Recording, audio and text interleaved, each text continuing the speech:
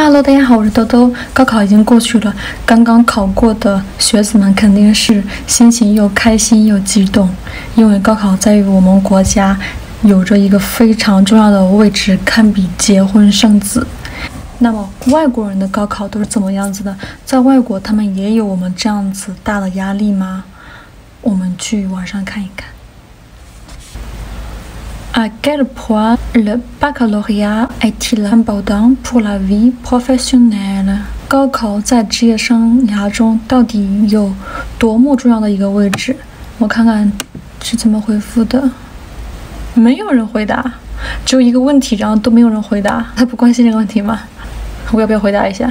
但是下边有一些推荐给我的相似的问题。在当今，高考有什么用？啊，这问题听起来就感觉好像是。大家都觉得没有什么用似的，哎，这个有八个回答，我看看啊，怎么说的？第一个人回答说：“他说我看到这个问题的第一感觉就是，这个问题好像是在说，在当今所有人都可以高考的情况下，高考到底有什么用？”这里我要说明一下，在法国不像在国内一样，就是高考完之后不一定。上到你喜欢的学校，因为你很被动，需要学校来选拔你。但在法国不一样了，是申请制的，而且学校公立学校之间是没有排名的。你看这个问题都在质疑高考有什么用，不像我们说高考到底是多有用，对吧？所以他们的这个回答方式，你就能感受出来它的重要程度是不一样的。有一个叫做 b e h i n a 的人说，高考是非常重要的。如果你想要继续更高等的教育的话，没有这一步的话。几乎很难被大学接受，这个和我们的想法是一样的了。没有这一步的话，也可以找到工作，但是呢，这个工作将会是不是依靠智商的工作，而是依靠工作经验的那种工作。其实就是说，我们像那种技工呀之类的，需要经验。这个叫做 Claude 的人说：“À passer dans le supérieur, c'est sa seule utilité. Un hit de passage de l'enfance à l'âge adulte.” 继续高等教育，这是他唯一的用途。另外呢，它就是一个孩提时代跨越到成年人的一个坎儿，好悲观呐。有一个人提了这样的一个问题，他说：“呃，如果我们后面还要继续我们的教育，比如说研究生呀、博士呀，那么我们的高考成绩还很重要吗？”其实我觉得大家刚听这个问题可能听不懂，你高考成绩都不好，你怎么继续后面的研究生和博士？对不对？我觉得我有必要重新解释一下，bac 呢，它其实我们很多人常常把它翻译成高中会考，它其实不是就是高考的意思，它是相当于一个高中会考结业证书，相当于我们呃大学毕业大学毕业证，研究生毕业研究生毕业证，然后高中毕业高中毕业证，这 bac 有那高中毕业证的意思，然后上面会有一个成绩，比如说申请大学的条件，在国外，在法国是需要你有。高中的结业证以及他要求的成绩，再加上你的一些自荐信，就可以去申请了，而不是像我们国内一样是排名制的，就是前多少名才有机会被选上。所以这一点呢，是一个两个很大的区别。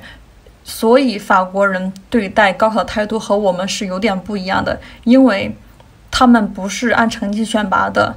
另外呢，在他们的高考结业证书上面呢，成绩是不显示的。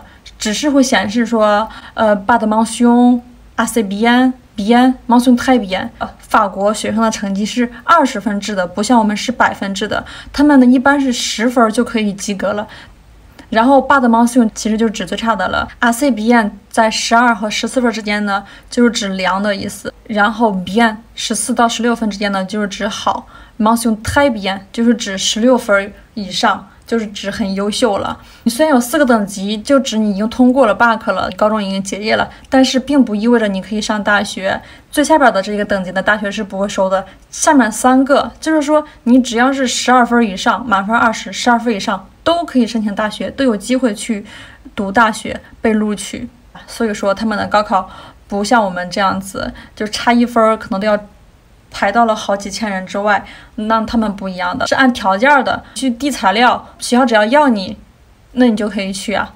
此外呢，他们这个成绩呢，不是说是高中毕业的最后一天考的，而是有考试的成绩，还有平常小考的成绩相结合在一起的。所以说，不像我们，嗯，刚刚过去的这两天呢，是人生中最重要的两天。他们呢，不在这两天，而是在于一整个学年。接着还有一个问题，这个人说，Get some les avantages du mention au bac。他说我在会考的成绩中，就是我在刚刚的会考成绩当中说的那些标的优良，到底有什么好处呢？你只要不是很差，后边三个都可以申请学校吗？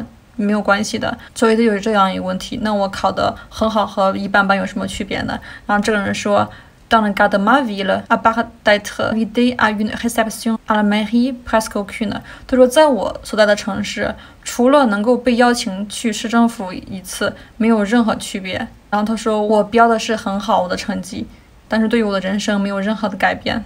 法国人对于高考其实真的好像是。没有任何重视度呢。下一个句子挺有趣的，他说：“Pourquoi la période d'après bac est l'une des plus dures？” 为什么在高考后的时光是人生中最难的时光之一呢？所以说可以想象而知，首先高考不是在人生中很难的，在法国。另外呢，在高考之后呢，人生呢。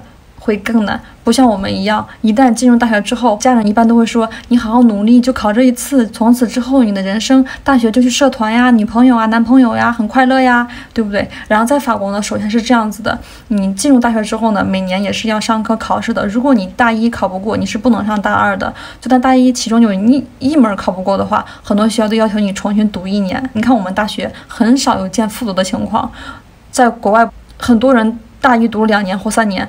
然后大二也读了两年三年，就是大学三年，有可能他们读五六年下去是很有可能的。在高中之后的阶段呢也很重要，但是这个笔者呢不是说学习很难这个意思，因为学习好像从来都不是人生中最难的事情，而是生活。这里他有说三个方面来说为什么很难。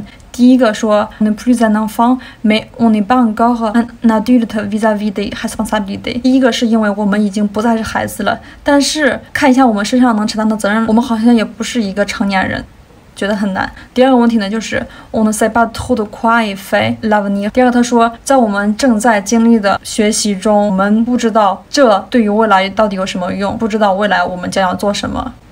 然后第三个就是我拿八五破打上，我们没有钱，或者我们有很少很少的钱，因为在国外呢，十八岁之后真的是要靠学生暑假打工或者放学去打工去挣钱，父母基本上是不给钱的，除非家里条件特别特别的好。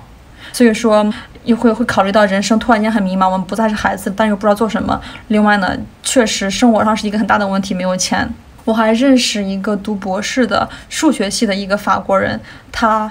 还在骑车去 Uber，每天放学之后，博士生去送餐，在国外或者硕士生、大学生很正常，很正常的，就是你点了一个外卖，过来给你送餐的人可能就是一个博士生。在国内，可能如果一个博士生做这个事情会被笑掉大牙的吧，可能宁愿被父母养着，也不会去做这个事情。而且父母呢，很愿意养着，而不让他因为别的事情浪费自己的时间。